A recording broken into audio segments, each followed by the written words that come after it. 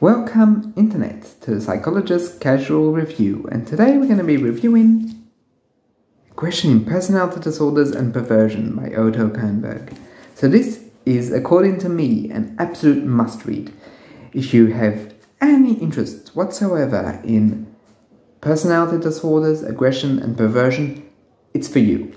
Basically, it's so thorough both clinically because he gives so many examples, like I think he gives at least 12 to 13 clinical examples, which is a lot.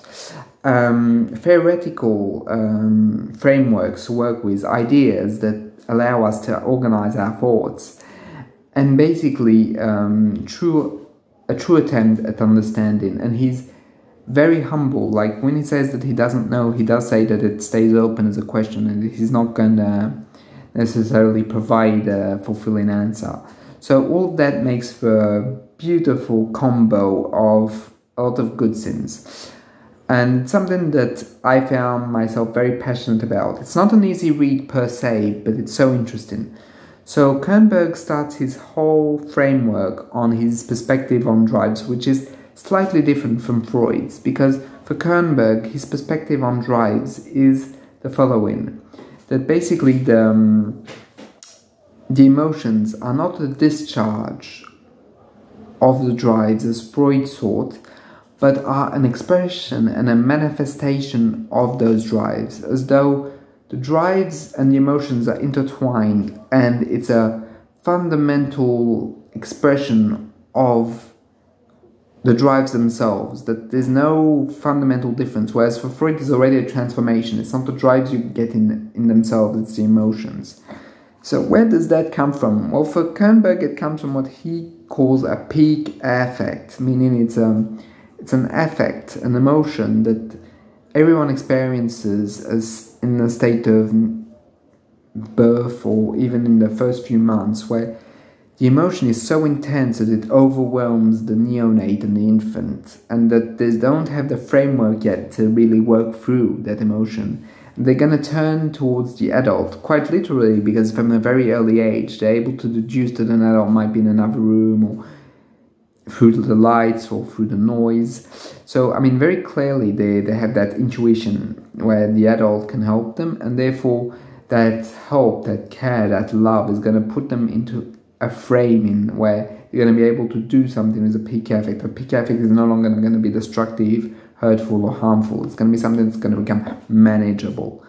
And that's what he goes on to say is that basically in personality disorders, that peak affect has not been able to be properly integrated, which has led to hatred and rage and destructivity.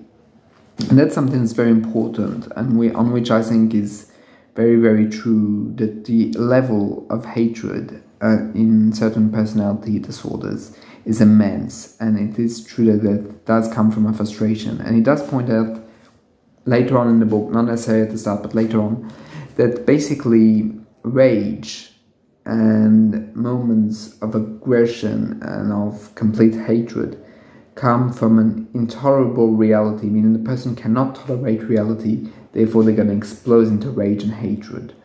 So it's something that's very, I feel, very true and very profound in a way. So basically, that hatred is going to lead to um, complicated object relationship, meaning the relationship with other people and other humans is going to be de facto so complicated for those people with personality disorders. So in his whole book, it's very, very rich. Uh, I'm just going to go for the bullet point of he differentiates his hysterical and histrionic personality disorders. So very, very, very quickly, because I made a video, if you're ever interested, please feel free to check it out. But the, the nature of it is basically that hysterical personalities are more organized, mature, have a better choice of objects, and can have long lasting relationships, even though they might have sexual frustrations or sexual issues. Whereas histrionic is more manipulative, can do suicide attempts to manipulate others, have choices of partners which are going to abuse them or exploit them, and basically they are more discontinuous, more unstable. And so for Kernberg, the whole point of this book is the idea that a lot of those personality disorders are going to be treatable, but not everyone, mainly people with antisocial personality disorder. He says prognosis is not good, not good at all, and depending on how important it is within an individual, might um, render all forms of treatment uh, impossible. Um, so basically, we will we'll delve into it later in the video, but you have to understand that for Kernberg there is many levels of organization. The more integrated ones, which have a good superego development, which have a good ego development, meaning the identity of the individual is stable, the person does recognize himself uh, fully and it's continuous. And basically, those are the neurotic levels of organization where the issues are going to be more interpersonal but always linked to reality, and the levels of aggression are going to be quite mild. They're going to be more, perhaps, more provocative, or it's going to be more as a reaction to loss of love. Then there is the borderline level of organization where the aggression might be more intense. It might also be more masochistic or sadistic in both fantasies and reality, I meaning the person might indeed have masochistic tendencies or sadistic tendencies. But it's also going to be the fact that they can't integrate aggression fully into the psyche, and aggression is not going to be able to play a role and be transformed as it is in neurotic organizations. It's also uh, antisocial organizations which are more complicated because the superego is not integrated at all, the care and value that placed upon others is virtually inexistent, and there's a more manipulative element to it. And he goes on to differentiate two types of antisocial a more active antisocial, which is uh, characterized by aggression, um, drug use, um, intimidation, and, um, and very interestingly, a more and one that's not as well known, a passive antisocial, which is more in, intertwined with parasitic behavior, meaning depending on others, exploiting others, uh, living uh, on the financial subsidies of others, and so on and so forth. And I found that as a distinction and between active and passive antisocial very interesting.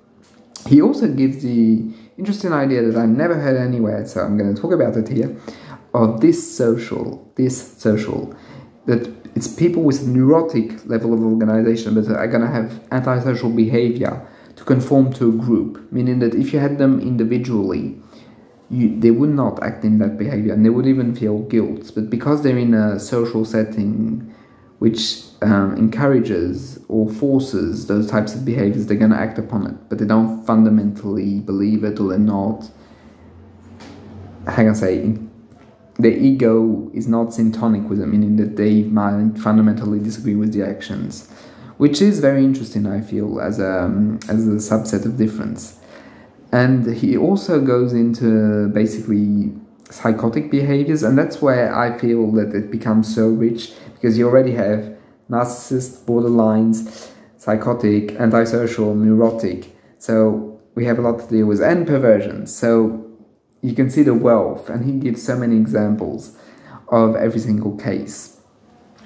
And basically, uh, for the psychotics, what I found very interesting is that for him, when there is a level of psychotic organization like Mrs. N, which she talks about, um, it's, it's very interesting that she felt that she, people were stealing her vital energy, that they were function, functioning it, that in a way something that's truly delusional. He did state how he brought her back into the therapeutic configuration because for him, what is very important with psychotics, because of the delusions, they're no longer in object relationship, meaning no longer in the relationship with others and including the therapist, that you should bring them back into object relationship not through interpretation of the delusion itself because it's too early and it might make them more fragmented than they already are and more disconnected from the person that they already are.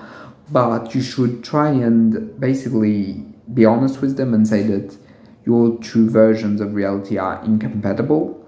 And he does say that that causes aggression like mrs n just told told him you seem to that mad and he, he answered no i mean he didn't answer no he said it's not a moral judgment. I'm just saying that our true realities are incompatible, and that allowed her to be able to see that there is true sins and that she was on um, in on a level of organization that was not necessarily on the same level as Kernberg, and that helped her realign herself with Kernberg um, and go through proper um, psychotherapy and the interpretative aspects of it.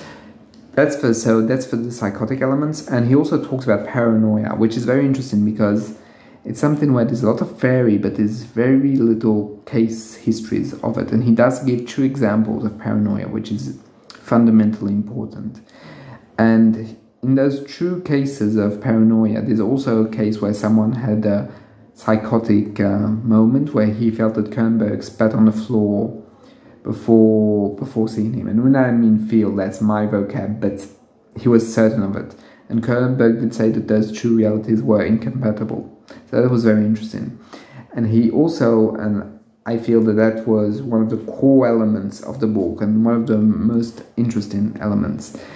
The idea of ident- projective identification. And he goes for a whole chapter where he differentiates projection and projective identification.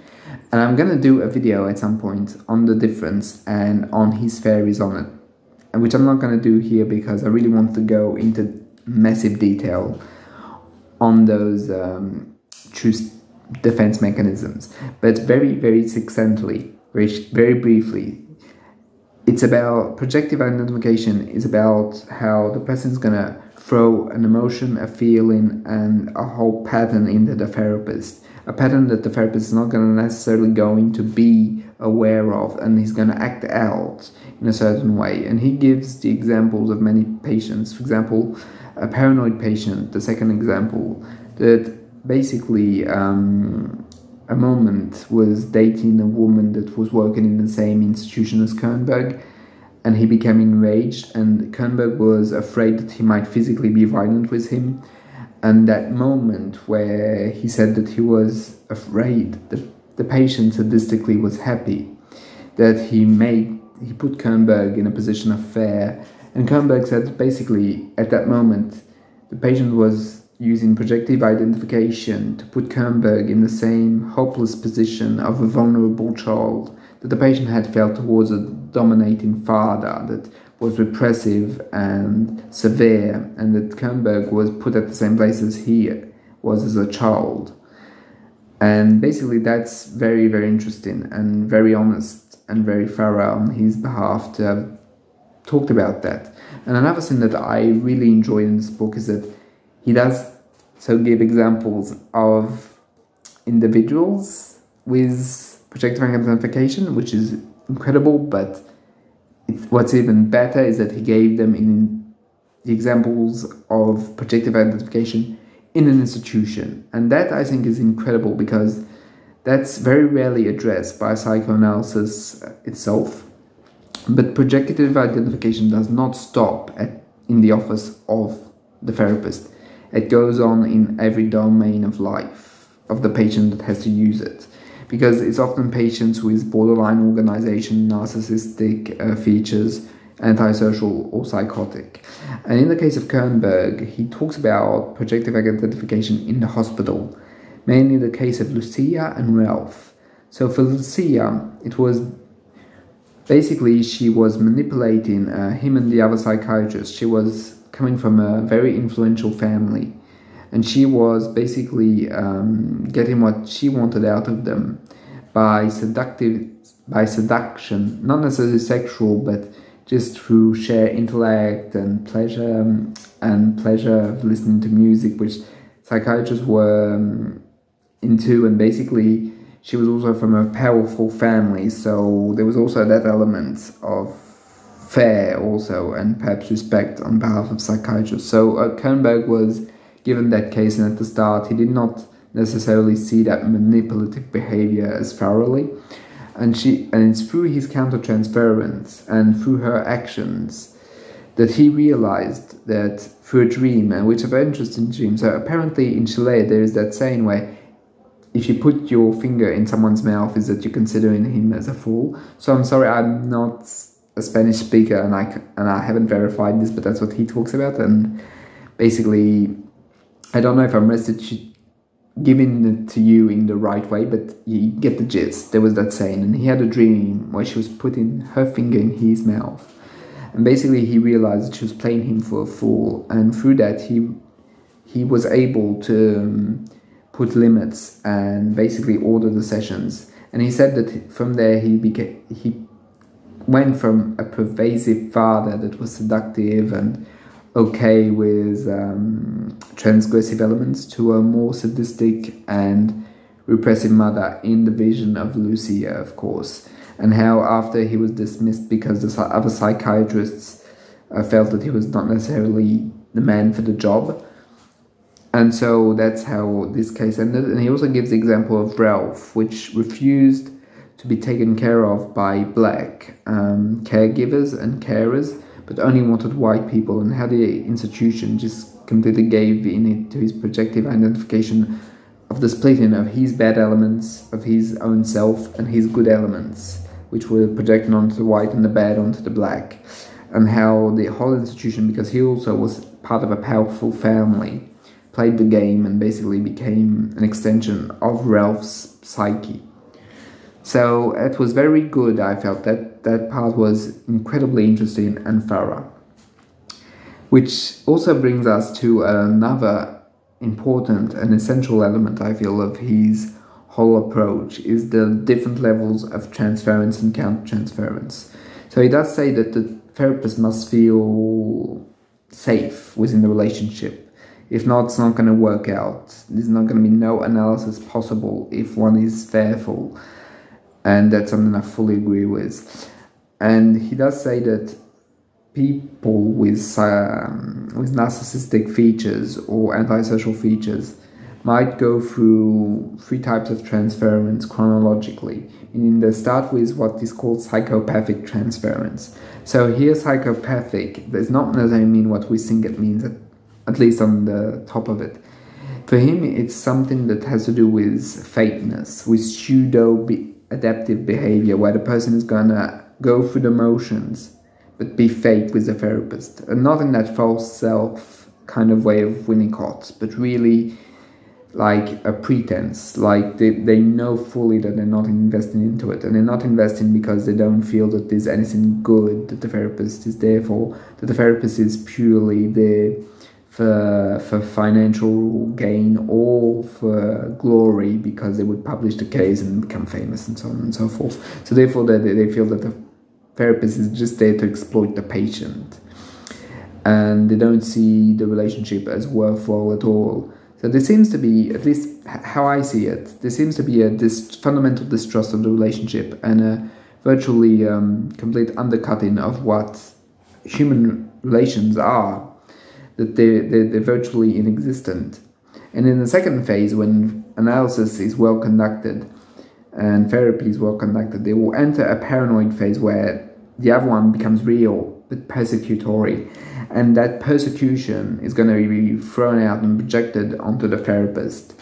And at that point, that they're starting to build um, an object, an external object to themselves, like they're accepting to go into the relationship through hatred, through anger, through destructiveness, but it's there and they're able to finally go towards a relationship. And the final stage of transference with those individuals is depression, a depressive transference in which they're going to realize that they're not all powerful, that the other one does exist and has as much power as they do, and that is going to allow them to fully enter object relation at the fullest extent.